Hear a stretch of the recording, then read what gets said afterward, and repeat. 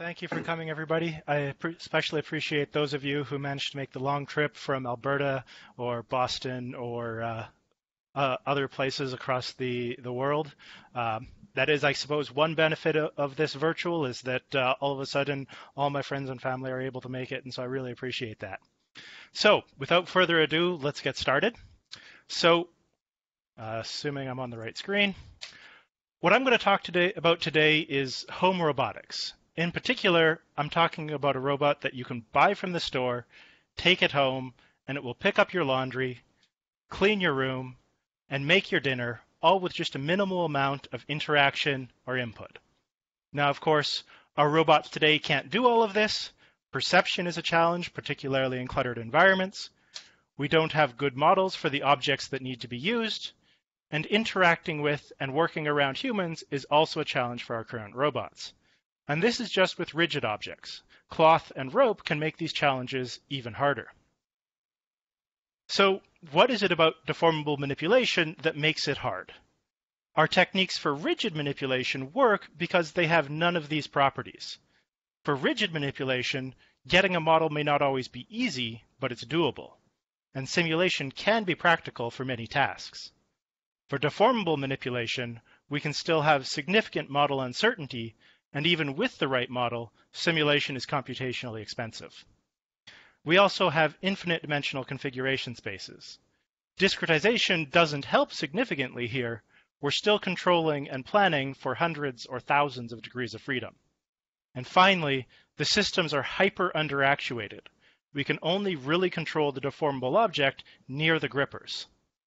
So our approach is to say that what is missing is not that we don't have good control or good planning methods. What's missing is the right representations. We need to be thinking about manipulation in different ways if we want to move from pick and place tasks to tasks like covering a table with a tablecloth.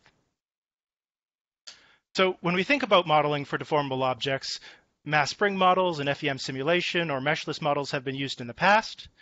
These have typically been used for visually realistic surgical simulation and graphics. And many of these methods are very sensitive to model discretization, for example, FEM methods. And in addition to that, accurate simulation often requires significant computation time, and so-called real time may not be fast enough for planner and control loops. Of course, we're not the first to consider this problem. There has been work that has used traditional FEM or similar models in the past. The parameters for these models were typically given to the system a priori, and they'll typically have long runtimes. Local control methods have tried to uh, avoid some of this challenge by estimating a Jacobian or a, a, local representation of the movement of the grippers relative to the deformable object. These two methods here are particularly relevant as we'll be using them in the first portion of this talk. We're still missing methods to deal with high model uncertainty, and we're unable to simulate quickly. And even if we could, we would need to tune the simulator for each task and each deformable object that we encounter. Learning-based approaches have bypassed some of these challenges using learning from demonstration to observe a human performing a task and then adapting that demonstration to the robot. In addition, learned latent spaces have been used for planning. However, these methods require significant data collection before they can be used. So the central idea that we'll keep coming back to is this. All models are wrong, but some are useful. This isn't a new idea or problem in robotics. It's, it's fundamental. The question is, which models are useful and how can we incorporate learning into the modeling and manipulation process? In previous work, learned behaviors have had some success on tasks for which they were trained. However, it's not clear how to avoid training a new model for every task. We can also look at high fidelity physics engines, which can be applicable across many tasks.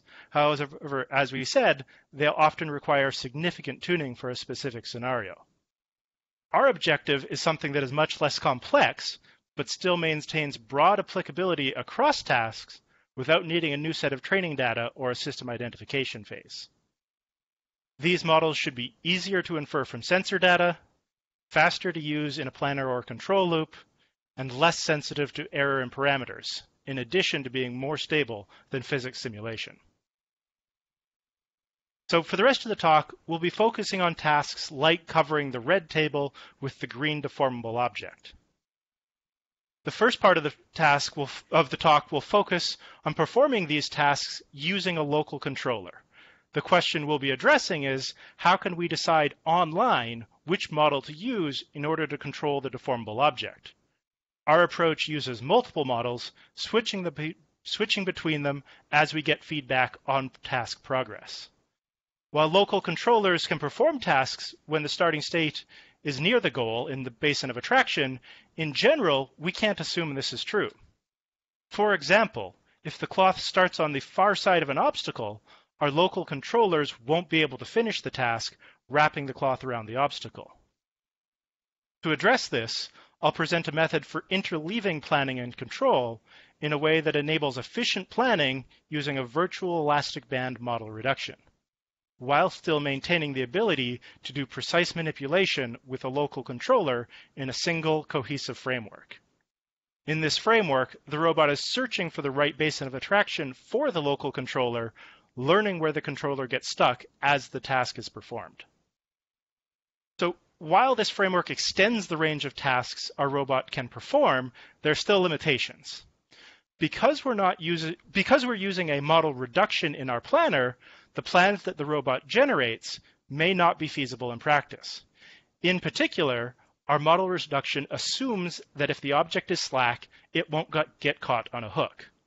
This leads to plans where the robot is overly optimistic, attempting to follow an invalid path, like the one that led the robot to have the rope caught underneath the hook here. Our solution is to learn from these types of mistakes while performing manipulation tasks by training a supervised classifier to bias the planning process away from transitions where we cannot trust the reduced dynamics. So let's take a look at the first part of this. How are we going to use multiple models for control? Coming back to the central theme, all models are wrong, but some are useful. Instead of having a single model of the deformable object, we'll use a set of possible models. In this work, we're going to be using Jacobian-based models that I talked about previously, and I'd be happy to talk about what these actually are offline or at the end.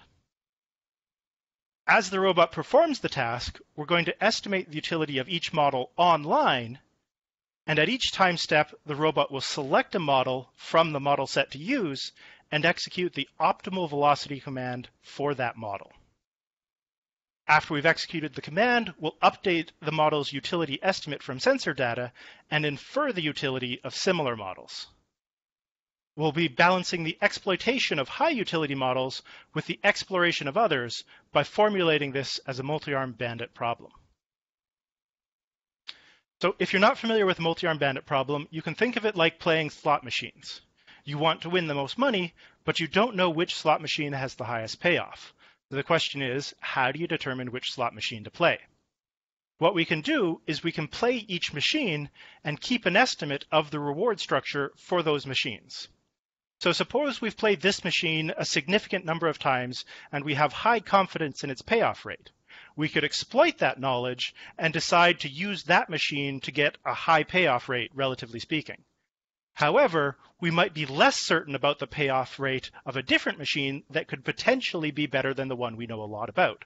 So we may want to explore the other options and learn more about those. This is the classic exploitation exploration trade-off. So in order to define a multi-arm bandit problem, we need to answer three questions. What is an arm? What does it mean to pull an arm? And what is the reward signal? So we're going to answer those three questions for uh, model selection. And then we're going to take a look at three multi-arm bandit algorithms to solve this problem. Two from the literature and our extension, Kalman filtering for non-station multi-arm normal dependent bandits. We add the D. We're going to take a look at how these algorithms perform both in simulation and a real-world experiment. I want to emphasize that both formulating the problem as model, the model selection problem as a multi-arm bandit problem and the KF-ManDB algorithm are novel to our work. So let's get started. What is an arm? what we're going to say is that an arm is a model. It's a way of mapping the motion of the robot to the motion of the deformable object. In this work, we'll be using Jacobian-based method, so this is a linear approximation. So what does it mean to pull an arm? At each time step, we're going to choose a model and generate and execute a velocity command based on that model.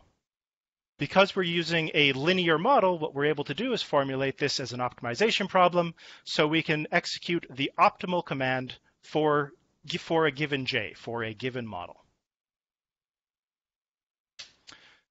The reward signal is going to be a decrease in task error. So task error is the uh, difference in alignment between the deformable object and the table, for example. How much of the table is covered? If we cover more of the table, we've done well. If we uncover some of the table, we've done poorly. And what we're going to do in order to, to evaluate or, or estimate how well each model can perform is use the utility of a model. It's the expected reward if we use that model at the given time t. A high utility means we would expect that this model will do well at the task at this time step. A low utility would say we don't think this is a useful model at the moment. So let's take a look at some multi-arm bandit algorithms. UCB1 is a common baseline. Uh, this assumes that the distributions are independent and don't change over time. What this means is that each slot machine, each model, performs just as well now as it did at the start of the task, and that we don't learn any information by using model A as compared to model B. I'll talk about why those assumptions aren't valid in a second, but we're going to briefly take a look at how we actually use this. So we have some estimate of utility for each arm. UCB1 selects the arm with the highest upper confidence. It's an optimistic algorithm. And then chooses that arm at each time step in order to uh, then generate the optimal velocity command and get some feedback. KFManB relaxes the stationary assumption by using a Kalman filter to track utility rather than the stationary assumption from the previous algorithm. This allows it to update the estimate of the arm based on what it sees and assumes that it can change over time. Because we're using a Kalman filter, we're able to use Thompson sampling what that means is that we, given our estimates of the utility of each arm, we draw a sample independently for each arm from our Kalman filter result, and then select the arm with the highest sample. KF-ManDB relaxes the independence assumption. What this means is we're now assuming that there's shared information between these arms. If I play slot machine one, if I use model one, I can potentially learn about how well slot machine two, model two, performs by uh, comparing the results of each uh, action. And we'll see what I mean by that in, in uh, the next slide, I believe. So we're going to use a Kalman filter once again, but instead of tracking independent Gaussian distributions, we'll be tracking a joint distribution. So when we use Thompson sampling this time, we're going to sample from a joint distribution, and then once again select the arm that had the highest sample. So I've talked re repeatedly about using a Kalman filter. This is what we're using a Kalman filter on. So we're tracking the utility, which is the expected reward for each model. We're going to assume that this utility can drift over time according to a Gaussian noise term with some covariance. And that covariance is what we're going to use to encode the dependence between these arms. So how do we do that? What we're going to do is we're going to compare the similarity between model actions. So if the optimal action for model I was similar to the optimal action for model J, we're going to say that these two arms are highly correlated and therefore there's a lot of shared information. If the actions would have been very different, then we say it's low correlation and we're not going to learn as much. So let's take a look at the experiments that we're going to perform. So like I said, task error is the distance from the red points to the deformable object. In effect, each red point pulls on the closest green point. For our model set, we're going to use a total of 60 different models from the types of models that we talked about before.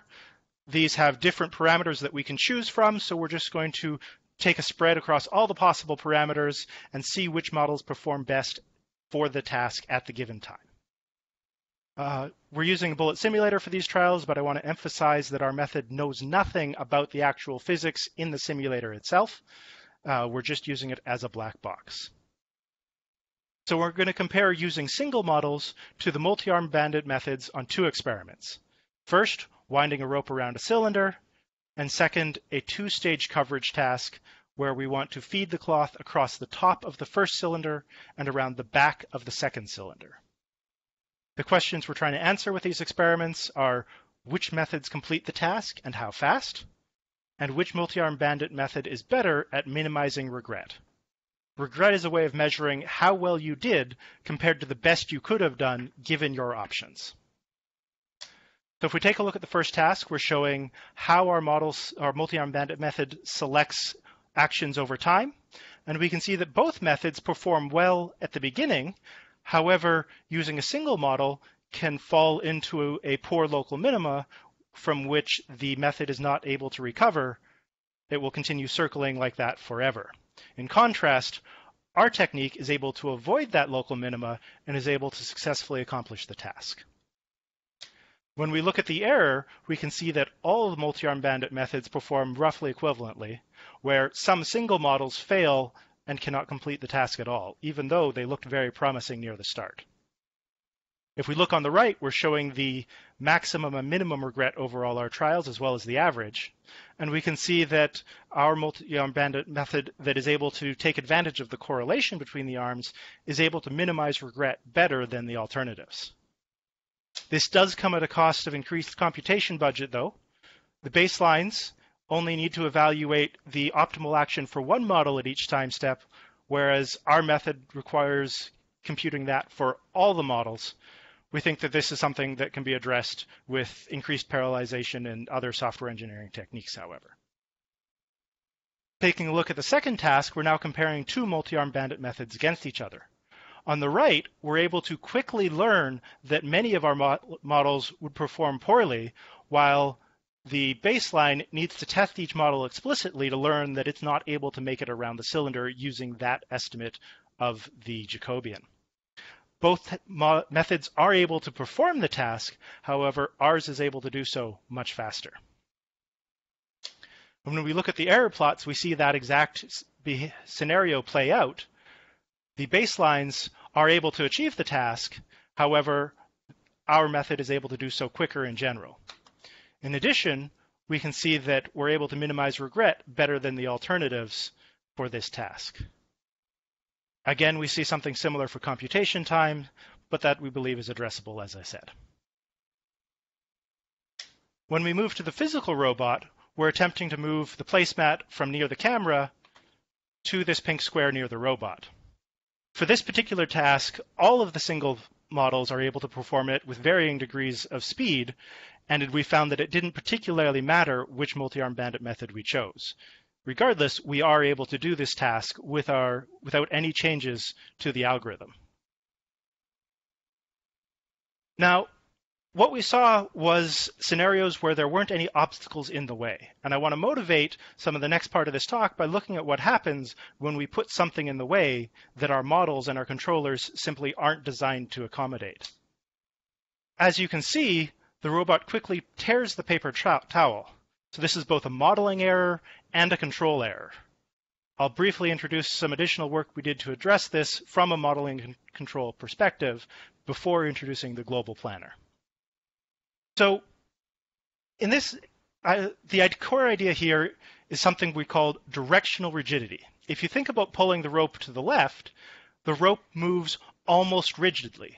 However, if we pull the rope back against itself, then it's only rigid near the grippers, whereas any of the points over here hardly move. A linear approximation isn't able to capture that behavior. And so what we're going to do is introduce a more complicated term that accounts for that additional dependence on the direction that you're moving in order to predict the motion of the deformable object. In addition, we want to ensure that we make predictions that are consistent with where the obstacles are. And so we're going to update this term into a general nonlinear form that enforces the constraint that the deformable object cannot penetrate obstacles. Now, that's only part of the, the question here. This is how we deal with modeling. Let's take a look at the control aspect. The question we want to answer here is, how can we avoid that overstretch, that tearing behavior, without a simulator to tell us that this could happen? The key idea is that what matters is the state near the grippers. The geodesic between the grippers is what matters. That's where we're actually applying force. So if the object is near overstretch, we can constrain the movement of the grippers to prevent increasing this geodesic distance, which is going to prevent us from overstretching further. So first we can find the vector that points along the geodesic at each gripper, and then create a cone around each vector which constrains the movement of the grippers at each iteration.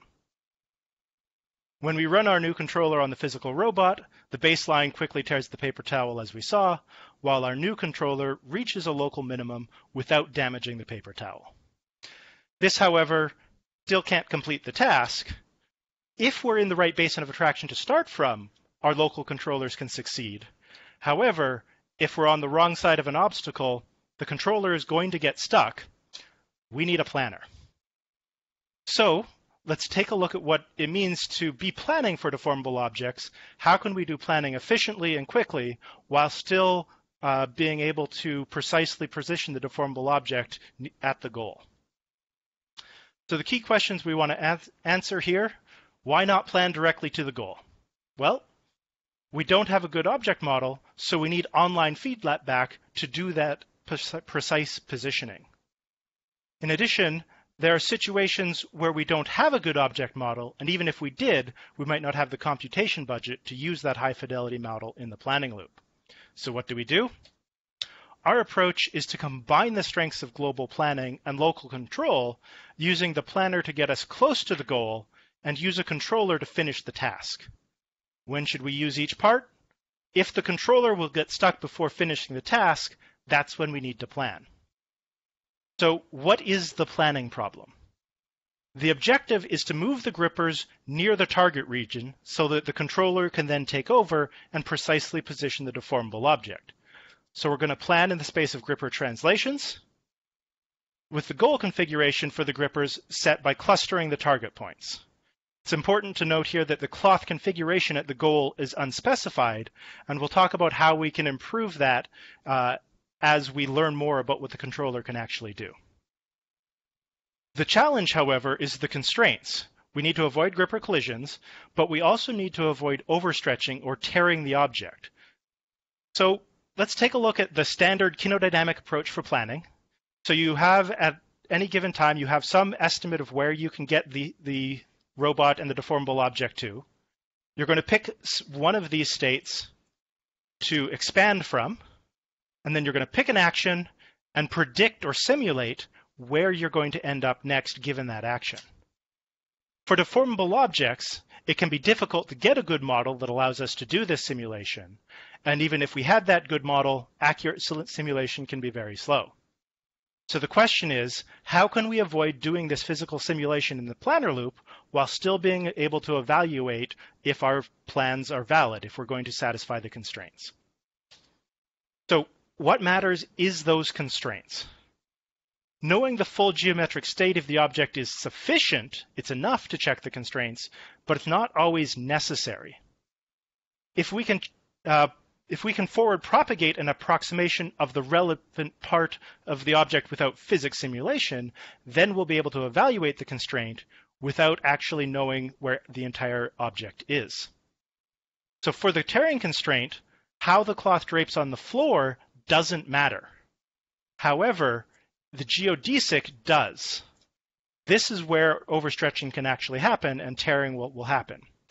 Now, this approximation is only possible because the object is compliant.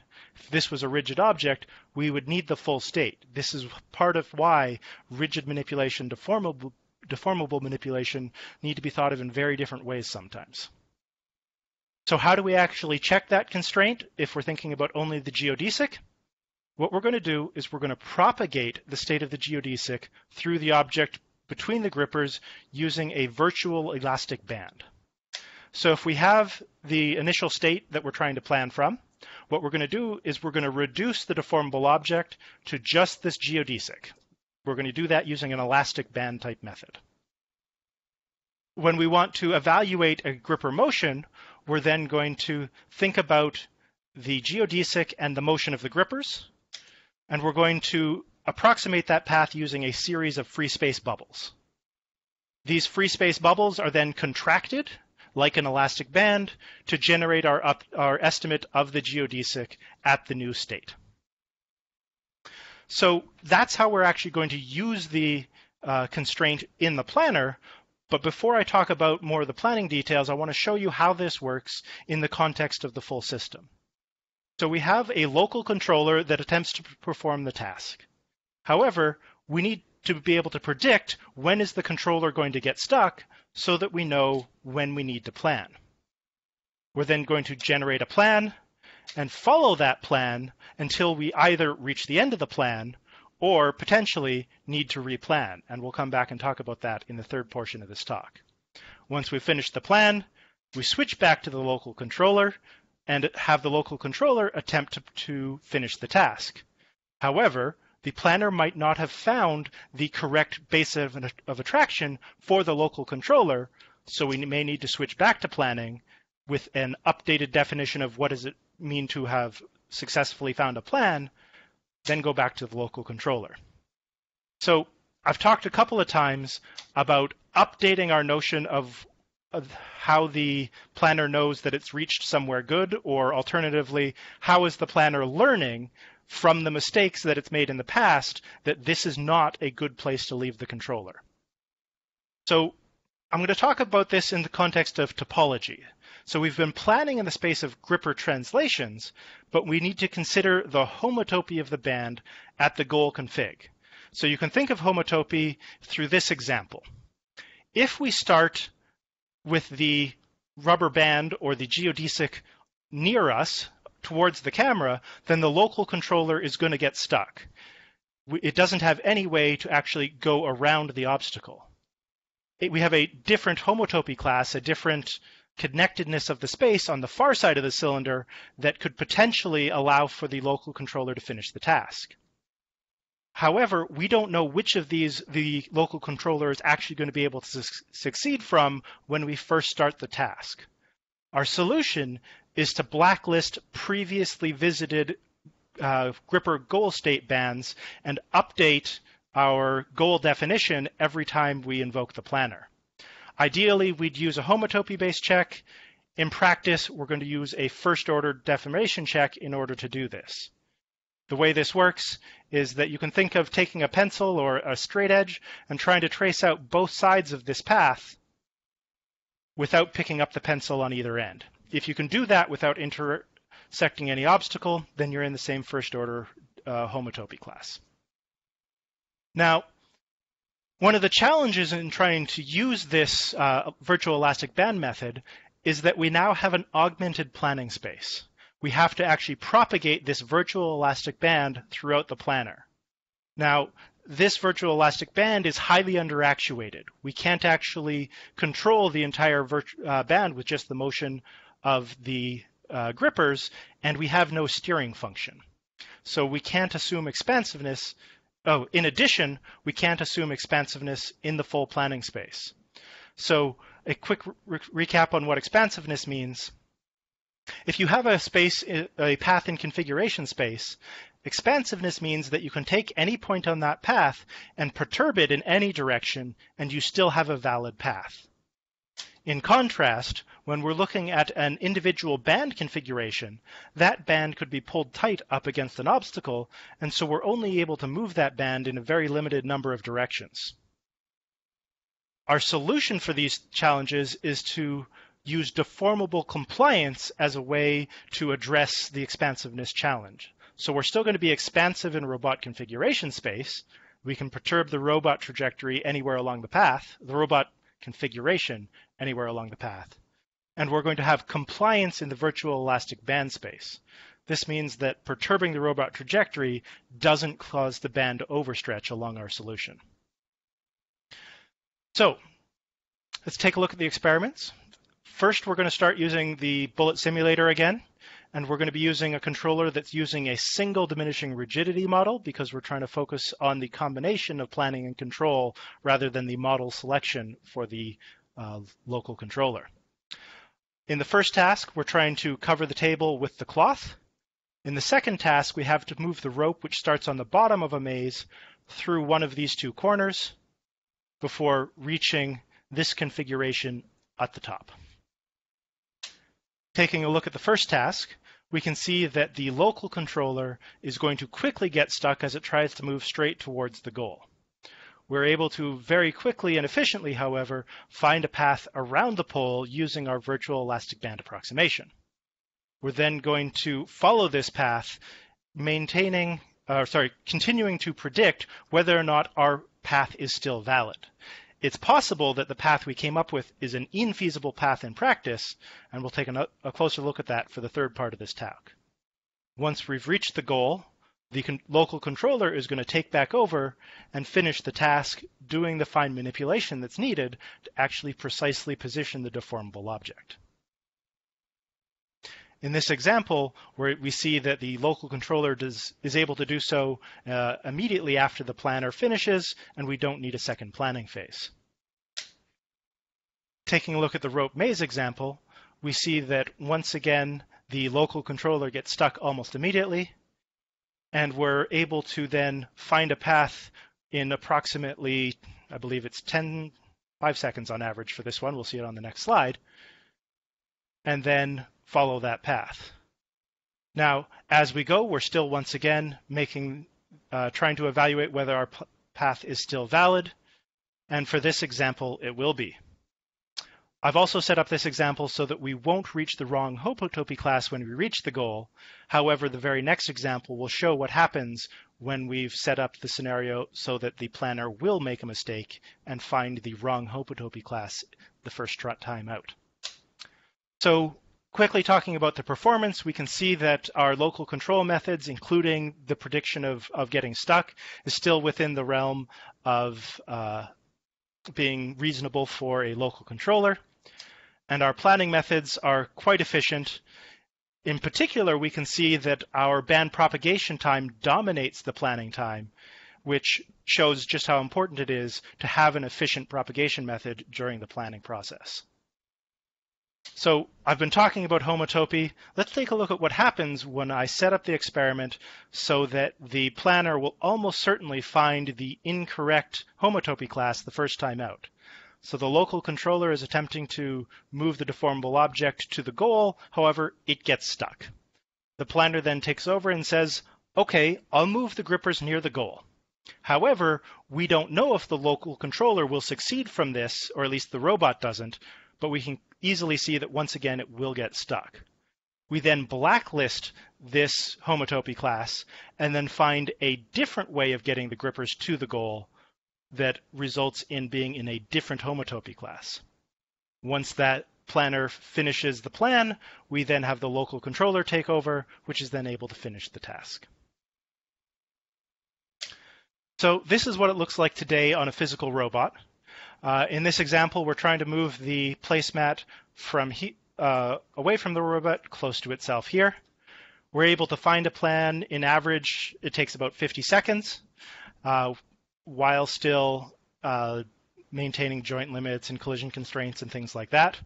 We've also set up this scenario so that the robot must keep its grippers below the hook, both to make it a more challenging planning problem and also to avoid one of the limitations of our planner, that revolves around the slackness assumption that we've made. So with this plan, we're then able to switch back to the local controller and finish the task. So as I said, we have some limitations. If the, the, our planner assumes that if the object is slack, it won't get caught. In, in truth, though, that's not the case. If we think about what happens in planning, we approximate the geodesic with a virtual elastic band that gets pulled taut, and then we predict goes over top of the hook, when in practice, the cloth actually goes underneath the hook. In addition, the cloth can get twisted around the grippers, and we're also working on ways to overcome some of the perception challenges for more real-world tests. So this leads us naturally into the third part of the talk, which is convenient, where we're talking about learning when to trust a model for planning. How can we avoid having the planner make those mistakes that lead to infeasible paths in practice? So I want to come back to the central theme once again. We want to refine the notion of useful to useful sometimes. We need to consider not just which models are useful, but also when are they useful. All models are wrong, but some are useful sometimes. So when can we know when a model is useful? When can we trust it?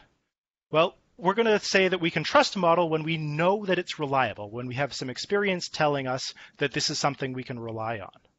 How do we know when that is? We're going to roll out plans generated using that model and train a supervised classifier on the data generated by executing those plans. How do we use the classifier? We're going to bias the planner away from transitions labeled as unreliable during planning. So to motivate this method, let's take a closer look at the planning problem that we're solving. We're assuming that the robot is kinematic, in this example, a pair of free-floating grippers, and the robot is carrying a deformable object. The planning objective is to move the robot from the start configuration to the goal configuration without damaging the deformable object, i.e. don't get the rope caught on the hook. So in this formulation, we're planning for both the robot as well as the full deformable object state. In general, this isn't a tractable planning problem either because we don't know the true dynamics F, or F is too expensive for efficient planning. We have an FEM or similar. So what we're going to do instead is we're going to plan in some reduced space with approximate dynamics G. This reduced space can be hand designed or come from some a data-driven process or some other technique. Uh, here we're talking about using the virtual elastic band reduction. So instead of moving the rope around the hook, uh, sorry, the problem is that when using such an approximation, the path that is generated may not be feasible under the true dynamics. So we have a plan generated using G, however, when we execute it, F actually has the rope underneath the hook if we continued executing, we would actually tear the rope. The question is, how can we plan using the reduced dynamics G in a way that leads to plans that are feasible under the true dynamics F? Our solution is to train a supervised classifier which evaluates each edge proposed during planning, rejecting edges for which we cannot trust the reduced dynamics. So let's take a look at the data generation process. We have some starting state of both the robot and the deformable object, but I'm just simplifying some notation here. We use our reduction function to, to get to the reduced planning space, and then we generate a plan using our dynamics G without any classifier. We then are able to roll out that plan using the true dynamics, and then we can evaluate what would the true reduced state have been if we knew the perfect transition function? If we compare the prediction during planning to what actually happens during execution, we can then get a better understanding of whether or not our dynamics are reliable. If we started close, if the two virtual elastic bands were similar, and we ended close, then G is reliable in this situation. Otherwise, it's not. Now, this is a conservative assumption. It requires that the that we are close on both ends. However, if we re, if we weren't so conservative, we would end up with uh, a much harder classification problem in general because it actually becomes a very unbalanced problem and can allow for transitions, more transitions that are invalid. So when I say close, what we mean in this context is we have the Euclidean distance between our virtual elastic bands is less than some threshold, and they're in the same first order homotopy class. So one of the things about this is that there's a fundamental loss of information that's happening here that makes this a uh, potentially ill-posed classification problem, which is why I'm using the words reliable and unreliable. So if we consider an example with an Ackermann car with uh, standard Ackermann dynamics, we have the position and orientation, steering angle, and velocity, and we use a model reduction that just has position and orientation. So we're going to uh, plan with dynamics that are strictly kinematic. You can go, when you're commanded to go somewhere, you end up there. However, the full dynamics has a controller that attempts to reach that commanded, config, uh, commanded position and orientation given the starting state, which includes velocity. So if we think about the situation where we have some starting state with three different velocities, but the same position, and we have a controller that's commanded to move here, in this circumstance, it might not matter what your velocity is. For any of these three velocities, the local controller is able to achieve this configuration. If we consider another scenario there where you have, once again, three different starting states that all have the same position, and we're commanded to move over here, Depending on your initial velocity, the local controller may or may not be able to reach this state here. It might collide with this obstacle if it were to continue. And so we need to make sure that we capture that in our labeling function. And that's what we mean when we're saying conservative. We want situations like this to be labeled unreliable because there are certain states where we can't know the velocity, so we can't rely on our model, our reduced dynamics, to be accurate. They might be sometimes, but we're going to be conservative and say we want them to be reliable all the time if we're going to trust this edge. So let's take a look at the classifier that we're going to use. We're using a VoxNet-based classifier, which uses a voxelized representation of the world. So we have the local environment around the transition in white, we have a 3D rendering the virtual elastic band both before and after the transition in red and blue.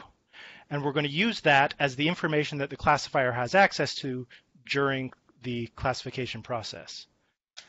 So for training data, we've generated approximately 4,000 plans that come from uh, trying to uh, perform this task here, where we're trying to move the rope from here past a hook through a narrow slit and to this point in space here. Now, this generated approximately uh, 550,000 transitions, of which 10% were held out for validation. Uh, I want to emphasize that we trained only on this one environment, but we're going to use the classifier in multiple environments that we've never seen before. In particular, this experiment here was set up adversarially so that the hook and the slot are right next to each other, which makes for a very challenging planning process. So let's take a look at that first experiment and see what happens. So as we can see, the planner that is not using a classifier is able to very quickly find a plan. However, that plan is infeasible in practice we see that this planner making the same is making the same mistake again and again, unable to make it past the hook. I've actually never seen the planner without a classifier actually succeed at this task. When we look at the success rates, we can see that using a classifier option is beneficial. However, this does come at the cost of longer planning and smoothing times. Uh, that's to be expected given that for each edge, we're actually doing a lot more work trying to evaluate, is this a valid edge? Looking at the second example, we see that without a classifier, the planner can move the grippers close together. However, this doesn't prevent slackness from being a problem. We still have to account for that slack material. With the classifier, we're able to avoid that mistake while the framework in general is still able to perform this task, it did require an extra planning phase without the classifier. Looking at the success rates, we again see that using a classifier leads to a higher success rate, though the gap is not as large as it was for the previous example. When we put this on a physical version of the same experiment, we can see that when using a classifier, the planner moves the rope further away from the hook, while the planner without a classifier is less conservative and the resulting trajectory is infeasible. So at the, at the outset, we were trying to answer two questions. Which models are useful, and how we, can we incorporate learning into the modeling and manipulation process? In the first part of this talk, we focused on choosing between models for a local controller using a multi-arm bandit approach. This enabled the robot to learn which models are useful as we perform the task, rather than needing to collect data before, before performing any task.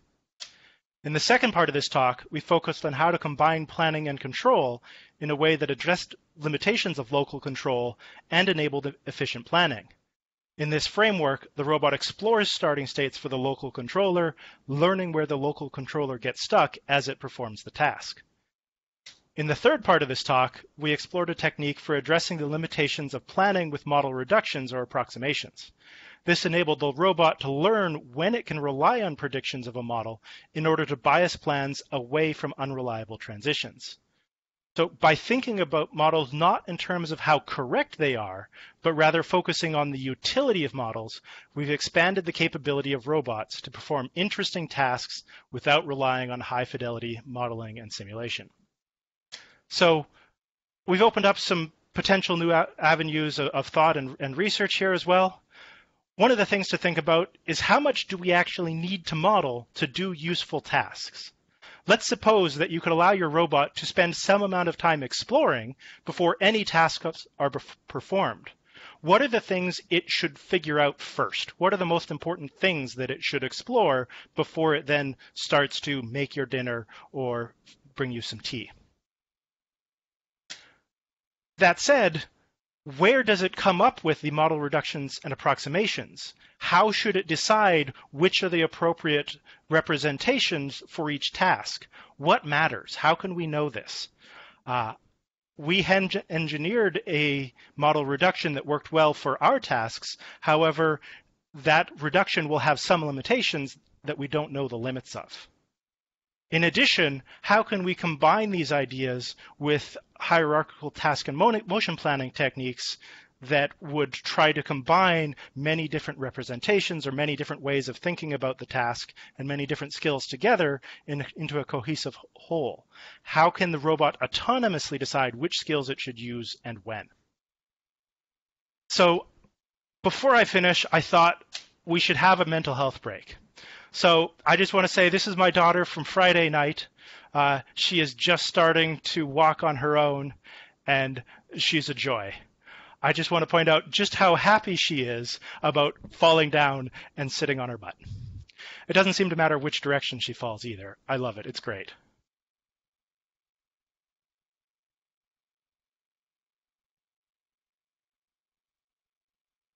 So with that, I'm happy to take any questions, and I thank everybody for sitting quietly with your mics muted, and uh, I'm happy to, to turn everything back over to Dmitry.